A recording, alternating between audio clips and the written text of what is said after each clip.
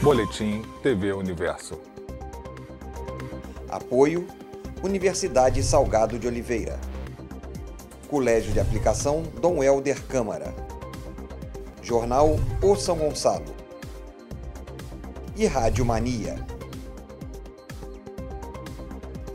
Olá, uma boa noite. Eu peço licença para entrar na sua casa e atualizar as principais informações desta sexta-feira, na segunda edição do Boletim TV Universo.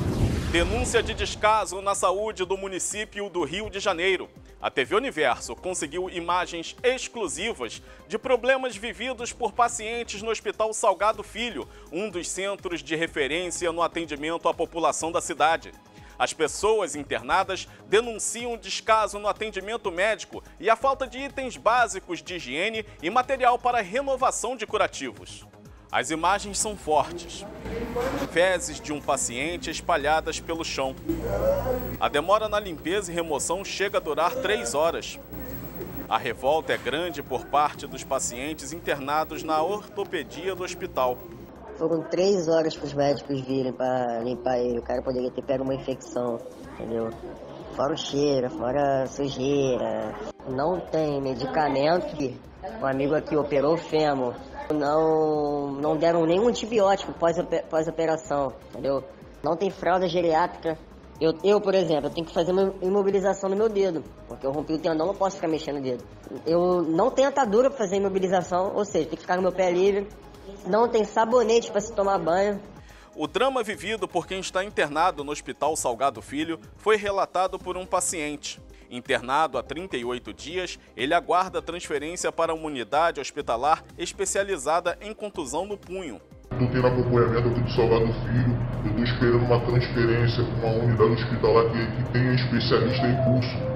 Eu já peguei infecção aqui dentro, com bactéria. Vou mostrar aqui.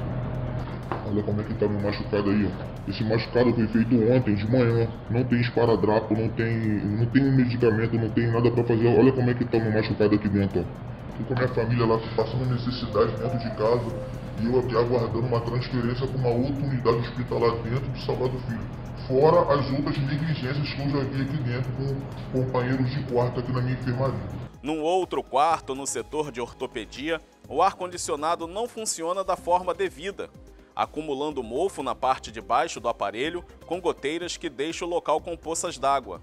A nossa equipe de reportagem procurou a Secretaria de Saúde do município do Rio, que nos respondeu através de nota. Abre aspas. A direção do Hospital Municipal Salgado Filho informa que os aparelhos de ar-condicionado estão funcionando e contam com manutenção regular.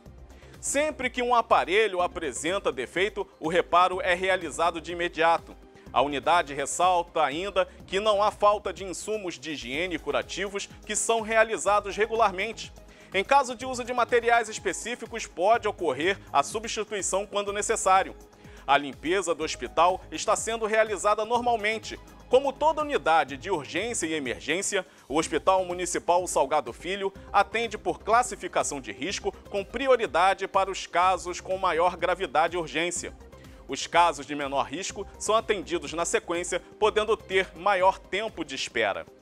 A Comissão de Higiene, Saúde Pública e Bem-Estar Social da Câmara dos Vereadores do Rio de Janeiro também foi procurada através do presidente da comissão, vereador Paulo Pinheiro, do PSOL, e do vice-presidente, vereador doutor Carlos Eduardo, do BDD. Até o fechamento do nosso boletim, não recebemos resposta da Câmara. A equipe da TV Universo segue acompanhando o caso.